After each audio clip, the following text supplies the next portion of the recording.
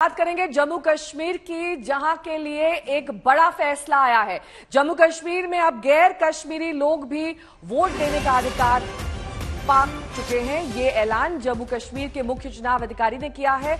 इस फैसले के बाद जम्मू कश्मीर में काम करने वाले कर्मचारी, छात्र, मजदूर, वोटर लिस्ट में अपना नाम शामिल करवाकर वोट डाल सकेंगे। जम्मू कश्मीर के मुख्य चुनाव अधिकारी हृदेश कुमार के मुताबिक मतदाता सूची में नाम दर्ज कराने के लिए मूल निवासी प्रमाण पत्र की ज़रूरत को अब खत्म कर दिया गया है। ज़ाहिर है इससे वहाँ रहने वाले बाहरी लोगों के लिए वोटर बनने का रास्ता साफ़ हो गया है। सुनील जी, भट्ट मेरे सहयोगी, इस सब तमाम जानकारी के साथ जुड़ गए हैं।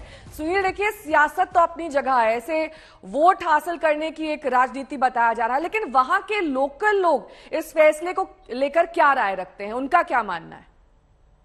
जी, नेहा, मैं आपको बता दूँ कि अनुच्छेद 370 और 35 से हटाए जाने के बाद जम्मू कश्मीर का, जैसे कि हम जानते हैं कि पुनर्गठन भी हुआ, ये इस समय जो है एक केंद्र शासित प्रदेश है।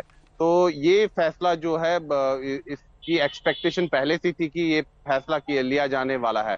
दरअसल जम्मू कश्मीर में विधानसभा चुनाव होने हैं, लेकिन उससे पहले मतदाता सूची के अपडेशन की जो है प्रक्रिया है, वो शुरू हो चुकी है। इसी को लेकर जम्मू कश्मीर के जो मुख्य चुनाव अधिकारी हैं, हृदेश कुमार, उन्होंने साफ़ तौर पर कहा है कि जम्मू कश्मीर में जो दूसरे राज्यों के लोग यहाँ रहते हैं, चाहे वो सरकारी कर्मचारी हो छात्र छात्राएँ हो या मजदूर हो, उनको यहाँ पर जो है मतदाता सूची में अपना नाम दर्ज करने का जो है, वो अनुमति है, वो करा सकते हैं, वो यहाँ के वोटर भी बन सकते हैं। और साथ ही में जो सुरक्षा बल यहाँ तैनात है जो कि दूसरे राज्यों से हैं। अगर वो पीस स्टेशन पर तैनात है तो वो भी अपना नाम मतदाता सूची में दर्ज करा सकते हैं। जहाँ तक आपने बात की कि लोगों की तो यहाँ जम्मू में अगर हम देखें तो अभी मिली जुली प्रतिक्रिया मिल रही है लेकिन ये कश्मीर घाट